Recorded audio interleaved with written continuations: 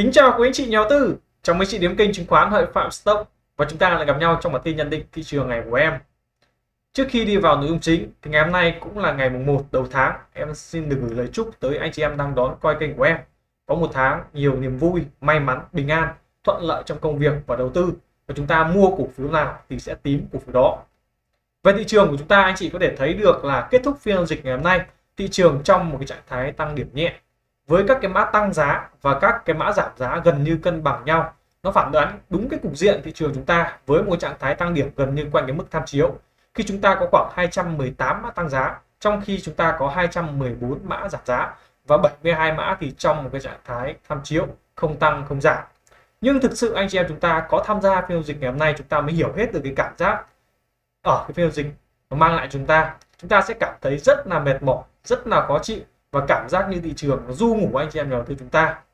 Vì nó đi trong cái biên giá rất là nhỏ thôi. Lên cũng không lên mạnh mà giảm mạnh thì nó cũng không giảm mạnh. Nó không có một xu hướng gì. Anh chị em chúng ta mua mới thì anh chị em chúng ta sợ bô sợ thị trường giảm mạnh. Mà anh chị em chúng ta cầm cổ phiếu thì cũng không lỡ bán, bởi vì bán thì sợ nó lên. Nhưng mà cầm thì cũng lo lắng bởi vì không biết thị trường nó có giảm mạnh hay không.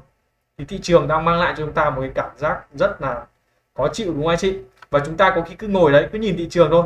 Cứ giao động như vậy thôi và chúng ta ngoảnh đi ngoảnh lại đã hết cái phiên giao dịch rồi. Đấy, rất là nhanh chóng cái phiên giao dịch ngày hôm nay của anh chị? Và ngày hôm nay thì chúng ta thấy được là thị trường nó cũng không có cái hiện tượng kéo trụ như vài phiên trước. Tức là hiện tượng là kéo trụ để xả danh mục thị trường chung.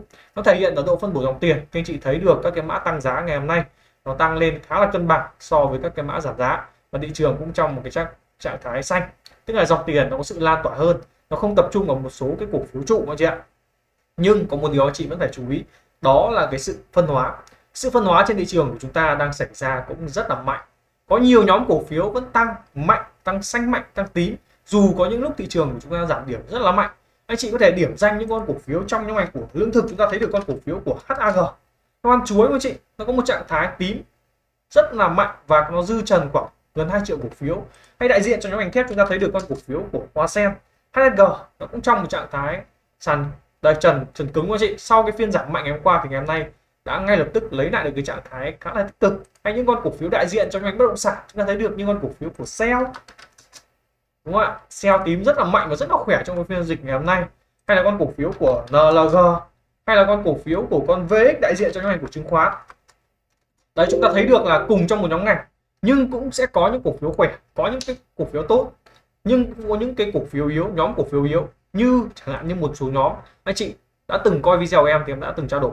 Đó là nhóm cổ phiếu của ờ, uh, bán lẻ nhóm cổ phiếu của dầu khí nhóm cổ phiếu của hóa chất là những nhóm cổ phiếu yếu mà anh chị chúng ta nên hạn chế tham gia. Từ đó tiếp tục được thể hiện trong phiên giao dịch ngày hôm nay. Khi chị thấy được là cái vận động của nó cũng khá là yếu khi cố nhóm cổ phiếu của hóa chất ngày hôm nay thì có những cổ phiếu đỏ còn có những cổ phiếu chỉ giao dịch quanh cái ngưỡng tham chiếu thôi. Cổ phiếu của dầu khí thì nó còn có trạng thái là giảm điểm cũng khá là mạnh ở một số cái cổ phiếu Chẳng như anh chị thấy được con cổ phiếu PVD ngày hôm nay nó có một trạng thái giảm điểm khoảng 4,41%. Đây là một trạng thái vận động không được tích cực khi mà nó rơi được về cái nền giá và thanh khoản nó cũng có sự gia tăng lên. Hay những con cổ phiếu như con bé anh chị đúng không ạ? Nó cũng trong một trạng thái là giảm điểm khoảng 3,68. PVS cũng giảm, gas thì cũng giảm. Và đặc biệt nhóm ngành cổ phiếu bán lẻ là nhóm ngành cực kỳ xấu trong phiên dịch ngày hôm nay khi anh chị thấy được cái sắc xanh lơ ở những cái cổ phiếu có trọng số lớn như con cổ phiếu của MVKG anh chị đâu ạ. Một trạng thái nằm sàn với một sự bán tháo rất là mạnh trong phiên dịch ngày hôm nay. Hay cổ phiếu của FLT cổ phiếu của PAT hay cổ phiếu của thế giới à, của thế giới số DGVK mấy hôm trước thôi có nhiều anh chị em khách hàng cũng hỏi em mua con cổ phiếu của DGVK thì em bảo là anh chị em chúng ta không nên mua. Đấy thì anh chị em đó cũng nghe theo em và không mua. Thì cũng rất là may mắn tránh được cái đợt sụt giảm này bởi vì cái thời điểm đó anh chị hỏi thì ở trên giá 40 cơ.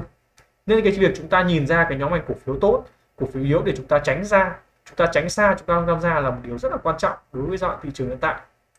Và ngày hôm nay chúng ta vẫn thấy được cái câu chuyện của con cổ phiếu Novaland và con cổ phiếu phát đạt. Hai con cổ phiếu này tiếp tục nhốt sàn nhà đầu tư chúng ta. Tiếp tục là nhốt sàn trong phiên dịch ngày hôm nay và ai bắt đáy cổ phiếu của con PR hay con cổ phiếu của Novaland trong những phiên dịch trước thì chúng ta mới thấm thía được cái sự rủi ro khi chúng ta tham gia bắt đáy trên cái thị trường chứng khoán hiện tại, đúng không chị? Và ngày hôm nay thì hai con cổ phiếu Novaland và cổ phiếu phát đạt là vâng, dòng tiền nó sợ không dám vào nữa chị ạ. Chỉ có hôm kia cả hôm qua thì dòng tiền vẫn còn tham lam, vẫn còn vào để muốn làm giàu nhanh. Nhưng đến hôm nay thì sợ hết rồi, bỏ chạy hết rồi anh chị đó ngày hôm nay lại dư cổ phiếu của con Novaland lại dư sàn 45 triệu cổ phiếu, hay là cổ phiếu phát đạt ngày hôm nay dư sàn 88 triệu cổ phiếu. Vậy thì anh chị em chúng ta mua những cổ phiếu này thì anh chị em chúng ta đến bao giờ mới có thể về được bờ trong một cái tình trạng nó giảm giá như vậy, đúng không ạ? Thì thực tâm em em cũng là nhà đầu tư nhỏ lẻ như anh chị thôi. Em cũng rất là mong những cổ phiếu này nó có những sự hồi phục, quay trở lại. Nhưng đó cũng là bài học cho anh chị em chúng ta. Khi chúng ta tham gia thị trường chứng khoán, nếu như chúng ta càng mong muốn làm giàu nhanh, thì nó không khác gì ở chúng ta chơi tài xỉu. Và đó là những cái rủi ro, đúng không anh chị? Thà anh chị lên anh chị chơi tài xỉu, đánh cái biết kết quả. Còn hơn là hàng ngày cứ phải chứng kiến, nó cứ nằm sàn nằm sàn, ăn mòn dần cái tài khoản của chúng ta, đúng không anh chị? Thứ hai, con cổ phiếu này cũng là hai cái bài học cho rất là nhiều anh chị em chúng ta tham gia bắt đáy. Và thực sự là bây giờ không thể đoán được nó sẽ rơi ở đâu đâu anh chị ạ cái dòng tiền lớn nó tham gia vào không phải là ngày hôm nay nó tham gia vào là đến ngày mai nó có thể nó kéo ngay chị đâu. Nó sẽ tích lũy khoảng vài năm. Đấy sau đó nó chờ những cái thời điểm thiên thời địa lợi nhân hòa thì nó mới kéo được cổ phiếu lên chị ạ. Chứ không phải là ngày hôm nay nó kéo à, nó dòng tiền vào mà ngày mai nó kéo ngay đâu anh chị ạ. Nên chúng ta cứ phải bình tĩnh. Trên thị trường em đánh giá có rất nhiều cơ hội tốt cho anh chị em nhà đầu tư chúng ta. Và cái rủi ro nó không nhiều. Anh chị có mua sai những cổ phiếu trong phiên trước ở những nhóm ngành khác thì anh chị cũng trả đến cái nỗi mà âm chưa gì, âm ít nhất là phải 14 phần trăm đúng không ạ? Bắt từ đúng sàn. Còn không thì có nhiều anh chị em chúng ta âm hơn 20 phần trăm rồi. Quá là kinh khủng đúng không ạ? Cực kỳ kinh khủng đối với cái cái thị trường. Nó có những cái cổ phiếu rơi như vậy và chúng ta không hiểu được bản chất anh chị ạ. Và cái nhóm ngành cổ phiếu của banh và nhóm ngành cổ phiếu của trứng thì ngày hôm nay nó trong một trạng thái giữ giá thôi. Nhưng nó vẫn có điểm sáng một số cổ phiếu. Chẳng như nhóm ngành banh thì em vẫn thấy được, những con cổ phiếu, những con biết này thì nó vẫn đang vận động rất là tốt anh chị ạ. Nó vẫn đang kéo lên bên trên này, cũng khá là tốt. Nhưng mà cái thanh khoản của nó cũng khá là yếu rồi hay con cổ phiếu của STB này. Đấy, STB thì ngày hôm nay tăng khoảng 4 phần trăm nhưng mà cái thanh khoản vào nó cũng không thực sự thuyết phục anh chị nhá. Với cái thanh khoản này thì nó rất dễ tạo ra những cái nhịp bull cháp hiện tại thì nó cũng đang gặp những cái vùng kháng cự đây rồi. Đấy, anh chị nào chúng ta có thì anh chị em chúng ta cân nhắc anh chị hạ bớt tỷ trọng thôi. Còn anh chị em nào mà chúng ta à, chưa có hàng thì cũng không nên FOMO những con cổ phiếu như con à, uh, STB nhá. Bởi vì ngày hôm nay thực ra là nó kéo ATC đấy. Thực ra nó ở đây nhưng mà phiên ATC nó kéo từ 17.7 và nó kéo lên 18.2 đấy đấy không thực sự là tích cực đâu. Nên chị em chúng ta cũng phải hết sức cẩn thận nhá. Còn những cái cổ phiếu khác chẳng hạn như nhóm ngành của chứng khoán thì em thấy được con cổ phiếu con VIX nó cũng vận động khá là tốt đấy chị đâu VIX vận động khá là tốt này. Nó có một trạng thái kéo trần ngay cuối phiên này. Con này nó rất dễ là đi theo cái mẫu hình của bọn uh, hoa sen này bọn ghiu ấy chị ạ. Tức là nó trần ngày hôm nay và nó tiếp tục nó kéo đấy thì em cũng kỳ vọng con này đi đúng kiểu như thế chị này đấy nó giảm một cây không ạ? Sau nó lại tiếp tục một bật tăng. Hay con cổ phiếu của hoa sen thế giảm một cây xong rồi kéo trần đấy, thì mấy con này nó khá là điên và chúng ta cũng không biết được nó sẽ kéo đến bao giờ. Đấy, thì con vick thì có thể sẽ đi theo như vậy. Và con vick thì nó có cái lịch sử đầu cơ rồi. Tăng thì tăng cũng rất là điên, mà giảm thì giảm cũng rất là điên. Anh chị em chúng ta mà ngày hôm nay không mua được thì ngày mai cũng hạn chế đua lệnh nhá, bởi vì nó khá là rủi ro. Nhưng con cổ phiếu như con SS ngày hôm nay tăng cũng rất là tốt này chị đấy test cũng rất là tốt này. Hay con cổ phiếu HCM cũng rất là đẹp, đúng không ạ? Đấy, nhưng mà nó có cản đây. Nên chung quy lại trong cái thị trường hiện tại, chúng ta thấy được là vẫn có những cái cổ phiếu tăng mạnh vẫn có những cổ phiếu tăng yếu và nằm sàn. Cái việc của anh chị em chúng ta đó chính là lựa chọn cổ phiếu và lựa chọn cái thời điểm mua là một cái vấn đề rất là quan trọng và anh chị em chúng ta cần phải chú ý điều đó chị nhé bởi vì có thể anh chị em chúng ta chọn đúng nhóm ngành, nhưng chúng ta chọn sai cổ phiếu, chúng ta vẫn gặp những sự thua lỗ hoặc chúng ta sẽ không có cái lợi nhuận trong một cái đoạn sóng ngồi thị trường chúng ta. Đấy, rất là quan trọng cái điều đó và em phải nhắc lại với anh chị em nhà đầu tư chúng ta. Bởi vì anh chị thấy được trong ngành của chứng khoán sẽ có những cổ phiếu tăng rất là ít, không tăng, chẳng hạn như VD ngày hôm nay còn đỏ đúng không ạ? Nhưng chúng ta lại thấy được con cổ phiếu của VIX nó lại tí đó là cái bài toán chọn lựa cổ phiếu rất là quan trọng. Thì lát nữa phần sau video em sẽ hướng dẫn anh chị em chúng ta làm sao để nhìn nhận ra cái cổ phiếu nào nó khỏe chúng ta chú ý trong từng cái nhóm ngành chứ chúng ta không chọn sai cổ phiếu anh chị ạ. Nhá anh chị nhá. Thế anh chị uh, thấy những cái chia sẻ của em hữu ích thì anh chị nhớ like và nhớ đăng ký kênh của em. Cũng như là anh chị để lại những cái comment về những cái mã cổ phiếu anh chị đang quan tâm bên dưới cái phần ô chat thì em sẽ để đáp cho anh chị em nhà đầu tư chúng ta và anh chị em chúng ta có thể tham gia giúp khách hàng của em tại công ty chứng khoán VPS hoặc Techcombank TCBS để tham gia cái đoạn tới nha anh chị nhá. Bằng việc anh chị chuyển ID về. Còn anh chị chưa có thì em sẽ hướng dẫn anh chị em chúng ta mở tài khoản tại hai công ty đó. Nói chung là mở online hết cũng rất là nhanh thôi. Và anh chị em chúng ta và anh chị em chúng ta nhớ like và nhớ đăng ký kênh của em anh chị nhé về thị trường của chúng ta ngày hôm nay chị có thể thấy được là thị trường ngày hôm nay nó có cái phiên mang lại rất là nhiều cảm xúc lẫn lộn cho anh chị em nhà đầu tư chúng ta đúng không ạ? Từ những cái cảm xúc rất là lo lắng cảm xúc rất là sợ hãi cho đến những cái cảm xúc thở vào nhẹ nhõm trong cái phiên giao dịch ngày hôm nay. Bởi vì thị trường của chúng ta ngày hôm nay gần như trong một cái trạng thái đỏ. Đầu phiên thì nó có xanh lên một chút nhưng mà đến cuối phiên Đấy, đến, đến à, đầu phiên xong bắt đầu đến giữa phiên anh chị có thể thấy được là liên tục nó có một trạng thái giảm giá và trong chìm trong cái sắc đỏ. Và thị trường của chúng ta nó thực sự nó chỉ kéo lên ở thời điểm 15 phút cuối phiên thôi. Nó kéo cực kỳ nhanh đối với thị trường của chúng ta và thị trường kéo rút chân lên và rất là nhiều các nhóm cổ phiếu nó có sự rút chân đồng loạt theo thị trường của chúng ta trong phiên giao dịch ngày hôm nay. Và thị trường của chúng ta đóng phiên trong một trạng thái tăng nhẹ khoảng 1,71 điểm và đóng phiên ở trong cái mốc điểm là 947 điểm anh chị ạ. Thì kết phiên giao dịch ngày hôm nay thị trường em sẽ đánh giá đây là một phiên test cung của thị trường chúng ta.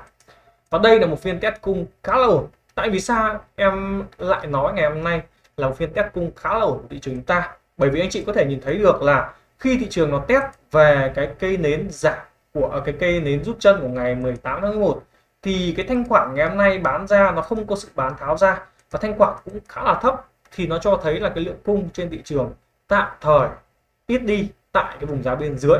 Thì đó là một tín hiệu tích cực và đây sẽ là một phiên test cung của thị trường chúng ta được chưa anh chị? Có nhiều anh chị em chúng ta hỏi test cung là gì? Đây là một phiên test cung được chưa? Test cung tức là nó sẽ test về một cái vùng giá nào trước đó để nó kiểm tra cái lượng cung cầu của những nhà đầu tư mua bán ở vùng giá đó. Nếu như lượng cung cầu vùng giá đó nó thấp thì nó sẽ có cơ hội để bật tăng mạnh lên bên trên. Còn nếu như nó test về và thanh quả nó có sự bán tháo thì cái khả năng nó thủng đáy và tiếp tục đi dò những ngày mới sẽ xảy ra. Thì ngày hôm nay chúng ta đã thấy được thị trường có một phiên test cung với thanh quả thấp thì đó là một điểm cộng đối với thị trường của chúng ta trong phiên giao dịch ngày hôm nay. Và với cái kịch bản mà em và anh chị đã trao đổi với trước đó, có thể thị trường nó sẽ rơi về vùng giá 900 điểm để nó test. Nhưng ngày hôm nay thì nó chỉ rơi về vùng giá thấp nhất của 934 điểm thì nó đã rút chân đi lên rồi.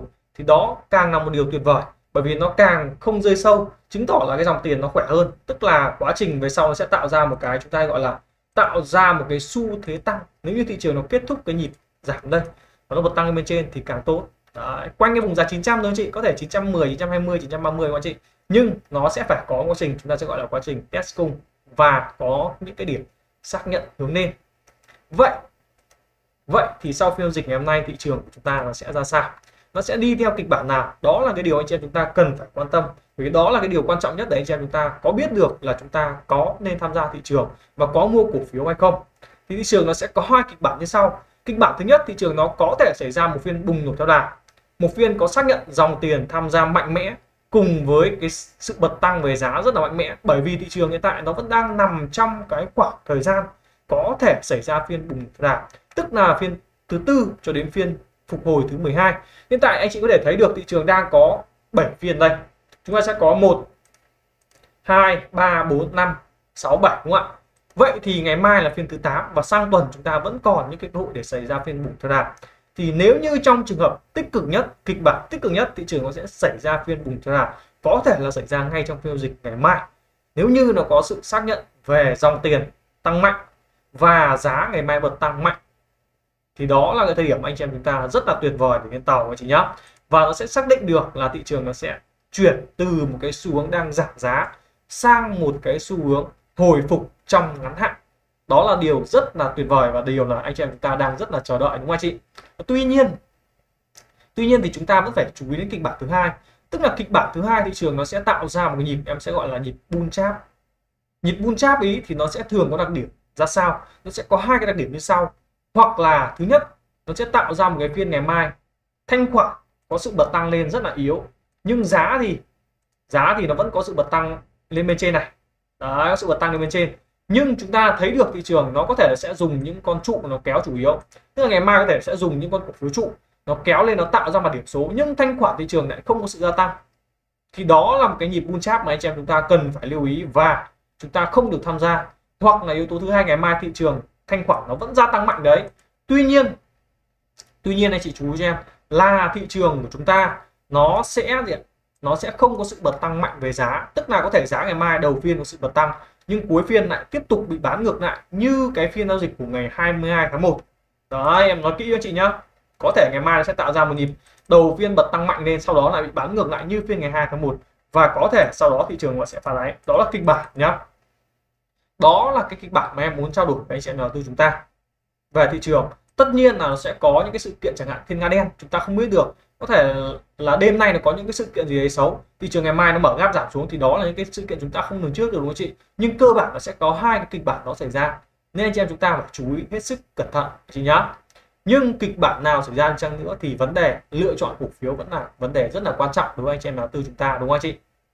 Đấy, thì anh chị em chúng ta trong cái giai đoạn hiện tại thì cái cách anh chị em chúng ta sẽ lựa chọn cổ phiếu ra sao để chúng ta tránh được, chúng ta sẽ tránh được cái việc chúng ta mua phải cổ phiếu yếu chúng ta không mua được những cổ phiếu tốt và thị trường nó có hồi, cổ phiếu anh chị không tăng. Và anh chị nhìn thấy cổ phiếu hàng xóm nó sự bật tăng. Thì anh chị em chú ý những đặc điểm sau mà em muốn chia sẻ, tức là một cái tổng quát nhất để anh chị em ta sẽ chọn lựa ra cái nhóm cổ phiếu chị nhá.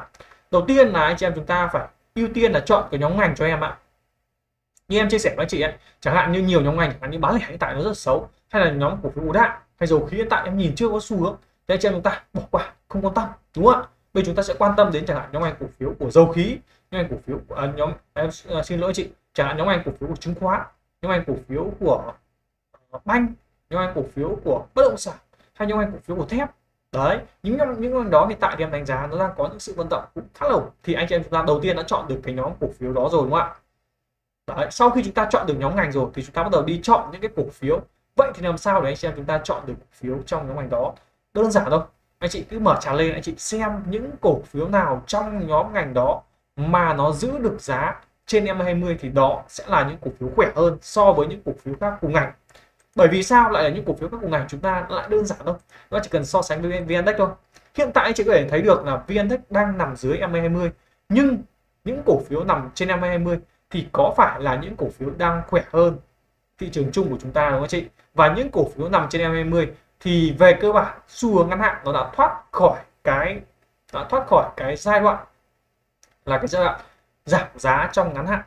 Đấy, đây là hai cái lý do vì sao chúng ta chọn cổ phiếu nằm trên E20 khi anh chị chọn được cổ phiếu nằm trên E20 rồi thì anh chị lại chọn tiếp cho em về cái nền giá của nó là sao. Chẳng như những cổ phiếu nó nằm trên E20 nhưng cái nền giá của nó lỏng thì anh chị em chúng ta cũng tham gia nhớ chị nhá cái nền giá của nó lỏng thì anh chị em chẳng hạn như con CTG đi em cho anh chị ví dụ nhá chẳng như con CTG hiện tại cũng là cổ phiếu nằm trên M20.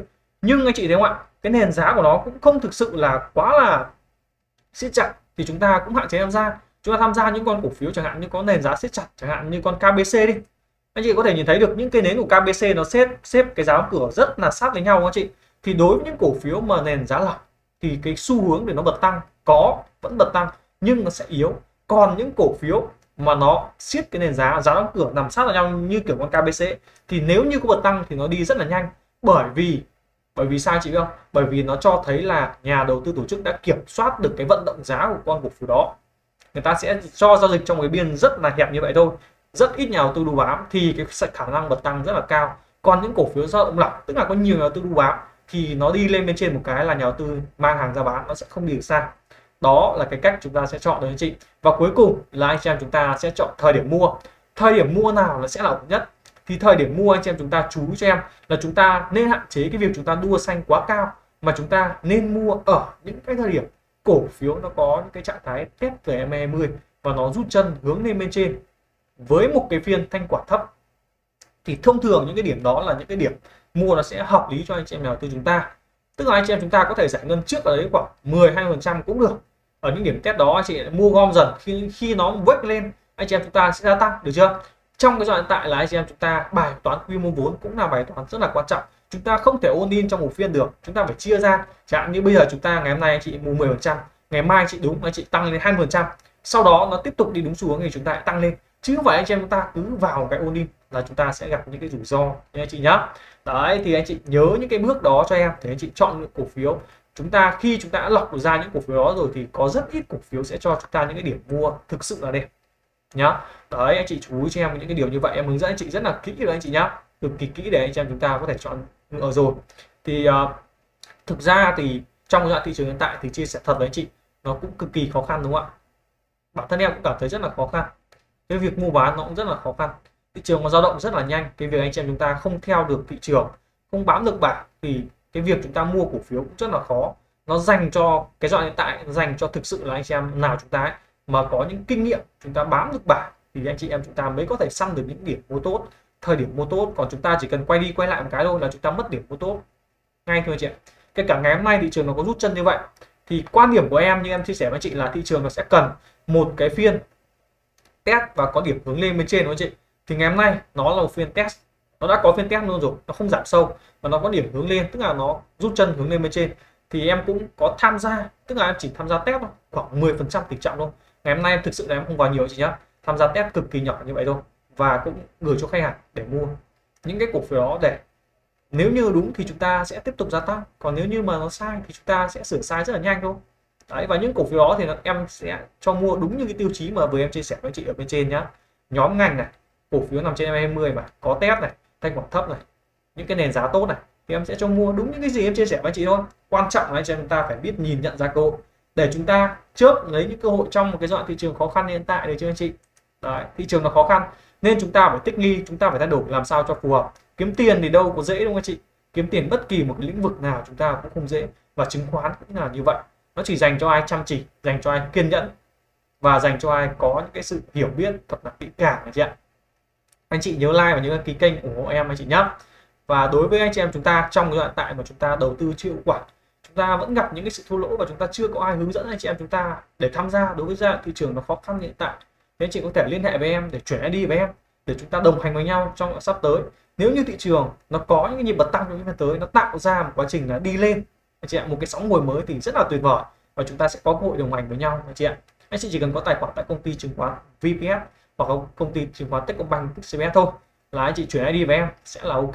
Hoặc anh chị chưa có thì em sẽ hướng dẫn chị em chúng ta mở mấy cái tài khoản online rất là nhanh anh chị ạ. Đấy, và anh chị em nhớ like và nhớ đăng ký kênh ủng hộ những cái chia sẻ của em hữu ích à, nếu như chị thấy hữu ích và chúng ta sẽ gặp nhau trong những cái video tiếp theo của em để chúng ta lại trao đổi về thị trường đúng không anh chị?